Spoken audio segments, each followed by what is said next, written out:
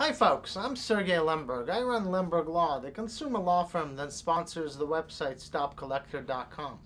We do not charge consumers for our services, and we've recovered more than $30 million from more than 10,000 clients. If Worldwide Recoveries is harassing you, calling your cell phone, your friends or family, turn the tables.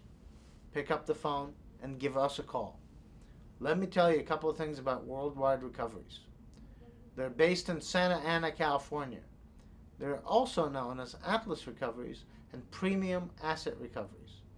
They started business in 2007 and have been sued 38 times in federal courts.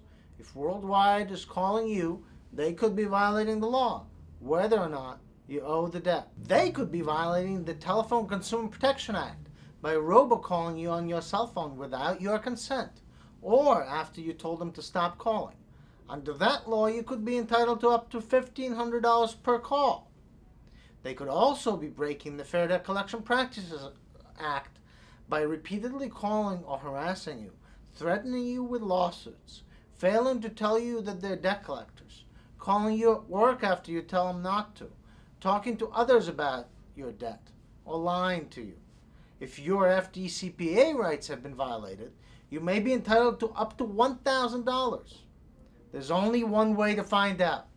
Give us a call. We'll be glad to talk to you. Our representation is free for you. Don't wait. Let us give you a free consultation and help you get the money you deserve.